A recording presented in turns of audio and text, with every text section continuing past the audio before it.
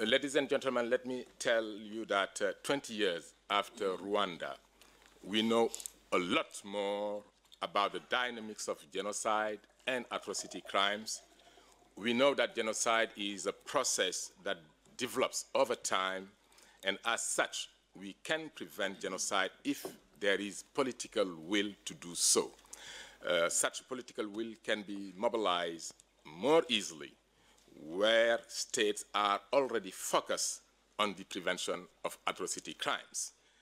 And therefore, mainstreaming the prevention of atrocity crimes necessitates uh, a specific approach in order to identify risk and design appropriate responses.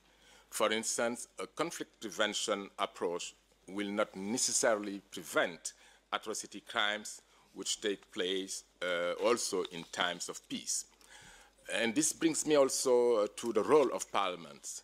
Democratically elected representatives have the capacity to ensure that the various threads of government action, including defense, foreign policy, development, internal, uh, internal affairs, among others, address uh, atrocity preventions.